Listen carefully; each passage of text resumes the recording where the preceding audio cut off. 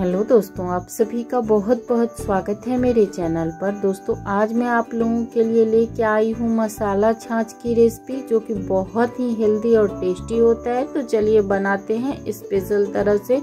मसाला छाछ मसाला छाछ बनाने के लिए मैं यहाँ ली हूँ थोड़ी सी कटी हुई धनिया, थोड़ी सी पुदीना, आधा चम्मच काला नमक, आधा चम्मच भुना हुआ जीरा पिसा हुआ, थोड़ी सी काली मिर्च, एक हरी मिर्च, स्वाद अनुसार नमक, एक कटोरी दही।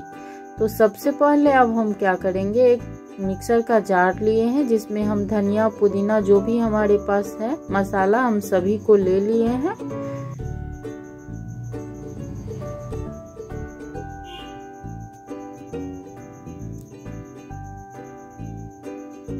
अब इसे हम दरदरा पीस लेंगे।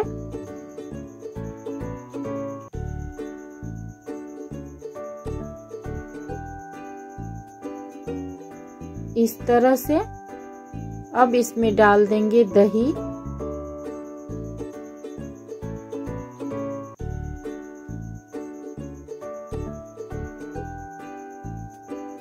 फिर डालेंगे एक ग्लास ठंडे ठंडे पानी। आप चाहे तो नॉर्मल पानी का भी यूज़ कर सकते हैं।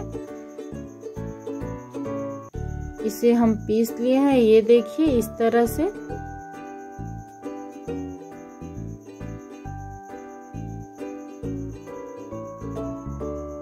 तो अब हम दो कांच का ग्लास लिए हैं, जिसमें हम मसाला छाछ को डाल देंगे। यकीन मानिए दोस्तों, ये बहुत ही ठंडक देती है और बहुत ही टेस्टी होता है तो आप लोग इसको ज़रूर बना के देखिए। अब इसमें हम डाल दिए हैं थोड़ी सी पुदीना ऊपर।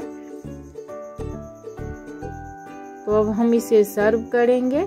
दोस्तों, अगर आपको हमारा ये मसाला छाछ की रेसिपी पसंद आए तो लाइक, सब्सक्राइब, शेयर, कमेंट ज़रूर कीजिए। थैंक यू, मिलते हैं नई रेसिपी के साथ।